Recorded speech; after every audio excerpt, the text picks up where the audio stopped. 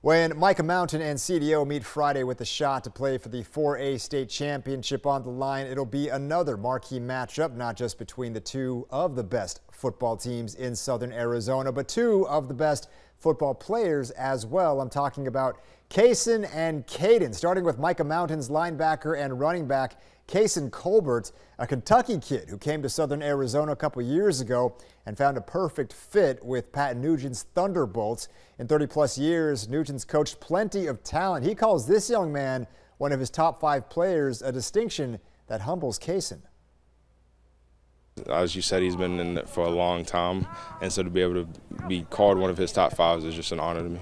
I've had great players, the Tevis brothers and Kadeem Carey, you know, Tamari Joyner, you know, those are all guys. But this is a young man that plays two sides of the ball for us. He's one of the best linebackers I've had, and then we put him at running back late in the season last year, and offensive player of the year in our region this year. Now with Kason as the 4A Kino Region Offensive Player of the Year, the Region Player of the Year honor went to CDO running back Kayden Luke, a guy built like a truck who'd rather run over and through you than run around you. A rarity these days, to be frank, but a quality that perfectly fits Kayden. How would you describe your running style? Uh, like a 90s fullback. You can play all the seven on seven games you want in the world and throw the ball all off season.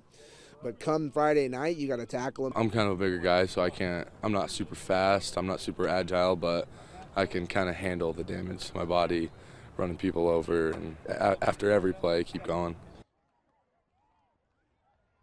Coming of Mike Alstott, if you will. So Friday it will be Kayden versus Kason, CDO versus Mica Mountain.